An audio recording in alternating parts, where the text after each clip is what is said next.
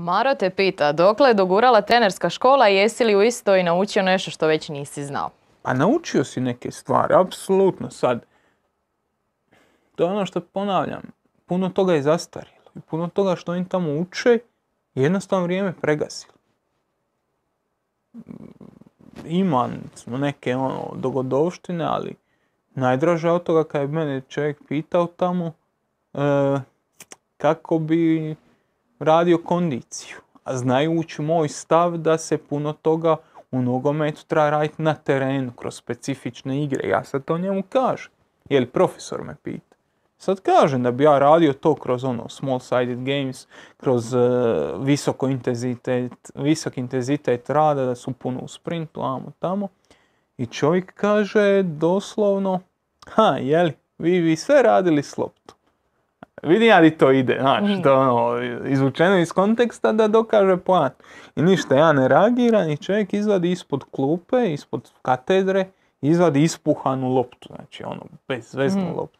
I ovako se pogrči i krene tehnicirati.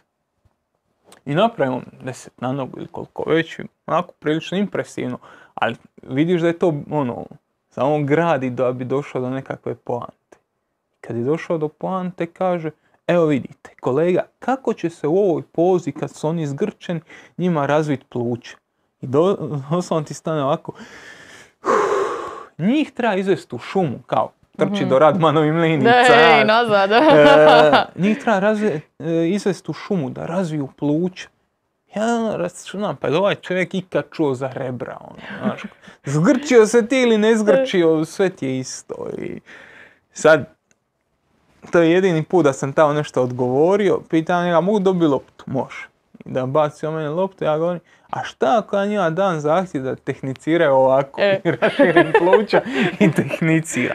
I čovjek je isto oplakao smije, e. shvatio da ono da nije provokacija, nego ono samo nekakva oponentska struja, ali realno, danas je kondicijska priprema u nogometu, tu je bio šoš napredovala do te mjere da, da su te niskointenzitetni natrčanja po šumama jednostavno prekucana stvar. mm Pogotovo za vrijeme sezon i pogotovo u radu s klincima. Kad si čula da je dijete od 7 godina isteglo mišić? Nikad.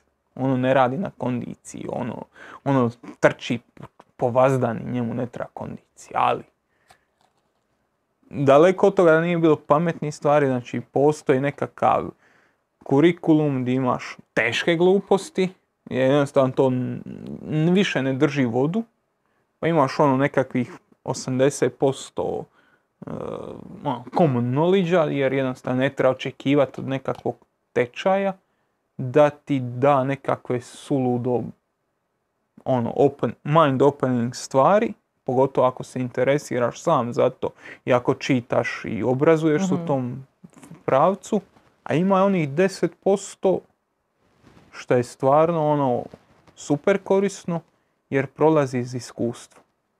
Ta nekakva knjiga koju on tamo prezentirao, ok, u pravom svijetu to je ovako i ovako.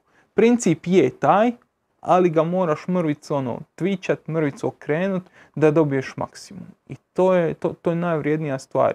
To je ono što smo pričali eh, kad, o Filipovom pitanju. Tebi jednostavno treba iskustvo, praksa da dođeš u situaciju da možeš primijeniti ono što znaš. I to će, ti to će ti akademija u nekakvim situacijama dati. Daće ti tu malu priliku da ti onaj profesor tamo, odnosno predavač koji je radio u Dinamu, u Amu tamo, ti kaže vidi, je, ovaj princip je takav, ali ako dodaš još ovo nešto, dobit ćeš bolji rezultat. I stvarno bude tako. Jer ono, iskustvo ne možeš platiti. Iskustvo moraš steći.